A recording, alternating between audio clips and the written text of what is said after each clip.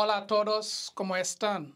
Soy Lamin y bienvenidos a Afro Spanish. Now, English says White House and Spanish says House White. Who's wrong? Who's right? Who cares?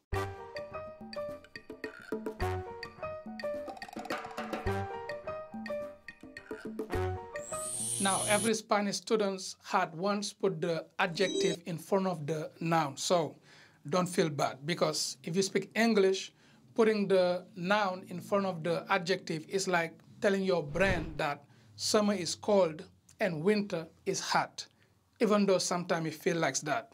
Anyway, it is not going to be easy in the beginning, but after a while, it becomes very easy. Trust me. But first, what is an adjective and what does it do?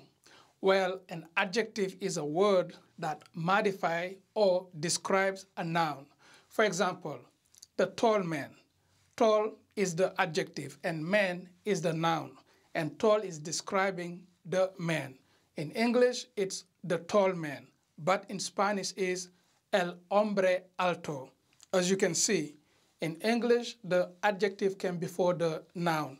But in Spanish, the noun came before the adjective. Generally, in Spanish, adjectives are placed after the noun they describe. However, in certain situations, an adjective can be placed before a noun, but be careful because uh, some adjectives change their meaning when they are placed in front of a noun. And I'm going to give you some of those adjectives that change their meanings when placed in front of a noun later in this lesson. And also, one of the things that you need to know about the adjective is that they agree both in gender and number with the noun that they modify or describe. Now, in case that you forget or you don't know that every noun in Spanish has a gender, there is a video link in the description. You can check it out to better help you understand the gender and the number of a noun in Spanish. Let's see some examples.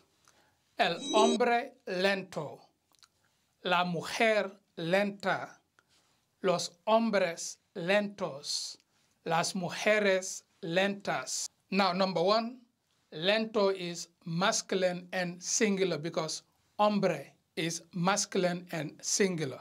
Number two, lenta is feminine and singular because mujer is feminine and singular.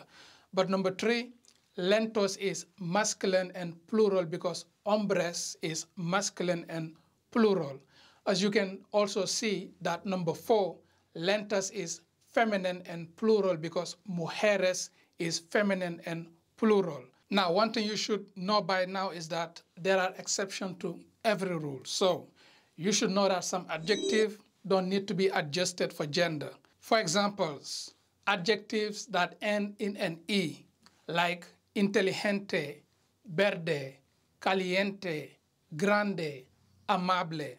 For example, el chico inteligente, la chica inteligente, las camisas verdes, los pantalones verdes. Also, adjectives that end in a consonant like genial, azul, gris, cortes, marrón. For example, el cielo azul, la mesa azul, los chocolates marrones, las sillas marrones. Now, these are some of the adjectives that change their meaning when they are placed in front of a noun. And these adjectives are pobre, solo, único, viejo, varios, triste, antiguo, distinto, raro, cierto, grande. Let's see some examples.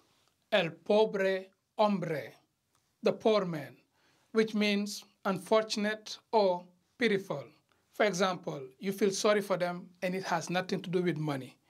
The second one, un hombre pobre, a poor man, which means he doesn't have money. Also, una mujer única, a unique woman. She's one of a kind. And una única mujer, a single woman. She needs a man. Now, as long as you remember to place the adjective before the noun, you'll do just fine. Homework, grande after a noun is spelled like this. But before a noun, is spelled differently. Find out how they spell it before a noun and put it down in the comment. As always, thank you so much for watching the video. Muchas gracias y nos vemos.